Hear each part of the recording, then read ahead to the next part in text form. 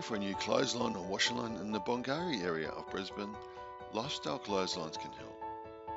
We service a complete Bongaree area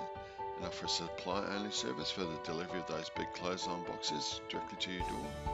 or supply and installation if you need the assistance of a qualified clothesline installer to come in and help with the correct setup and installation of new clothesline our removal service is also available throughout the Bongaree and Bribie Island area for those old and damaged clotheslines that need removing from site, as well as a restringing service for existing clotheslines you may have that just need new cord or galvanised wire installed. For any further information, tips or advice on finding that perfect clothesline for your Bongaree home,